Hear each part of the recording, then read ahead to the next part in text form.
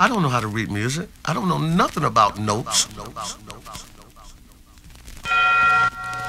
Danny Beats. Hoy rimas hasta la cima grabadas en un estudio escupidas en tarima con sus actitudes que asesinan. Llegan a quienes las buscan, no a quien las espera. Me cago en tus fronteras y me limpio el culo con tus gentilicios y con todas tus banderas. No te duermas camarón que te fuman en el blond Machismo, boda, puro wave y poco aporta el papelón. Pues nada es perfecto, por eso el lápiz viene siempre con su borrador. Lengua suelta tarde o temprano pega con su poste.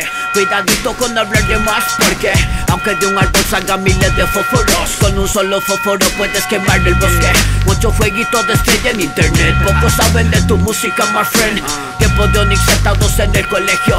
Michael Jackson, Vico C, Celia Guantanamera Infama con Snow, la sonora santanera.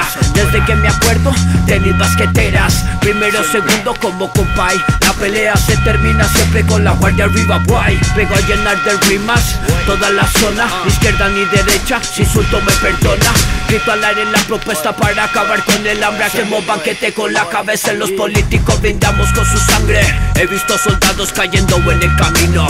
Este perro viejo es tranquilo pero si lo ataca muestra su colmillo. Caíste en la primera socio. Falta de apoyo no pagaron ese precio. O buscan el negocio. Ya no red en el colegio hacen pop, reggaeton, electronic mode. Porque no es por fama ni por ese primer puesto. Es por momentos que guardo en mi corazón que sigo en esto En la selva muchos hablan pero un cazador no se preocupa por lo que dice la presa. Líneas y líneas como ferrocarriles elegantes como escaramuzas. Líneas y líneas como ferrocarriles como el noche y su sea difusa. Líneas y líneas como ferrocarriles y finas como un yakuza. Regresé como el chapulín, ah, no contaban con mi astucia. Tocaba y pasaba el sombrero para que me echaran la propina. Lo que pasa es que yo tenía una defensa en eso, que yo llamaba más la atención que ellos, porque ellos eran verdaderos maestros.